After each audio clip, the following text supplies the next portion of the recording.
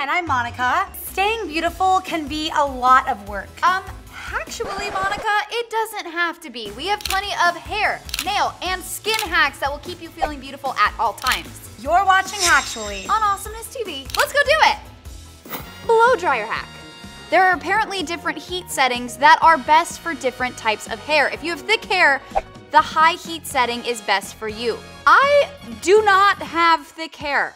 It's very thin, a lot of very thin hair. So what I'm gonna do is use the warm setting on my hair, that way it does not frizz. Once my hair is completely dry, I'm going to use the cool setting, no matter what type of hair I have, to set it. It gives it that silky shine look, you know? Oh, that's nice. Clean pores hack. In the morning, after you wash your face, before you apply your makeup, run an ice cube over your entire face to close the pores so your makeup doesn't seep into your pores, causing blackheads and whiteheads or any kind of congestion.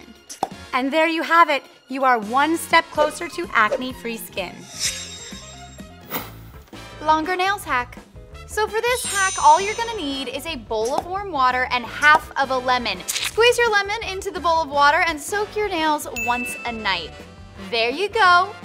Longer, wider nails in no time. You'll thank me later. Hairbrush hack.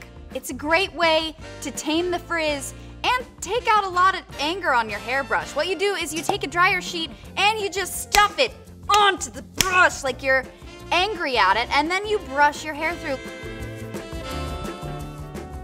No frizz, and now I'm calm. Good morning.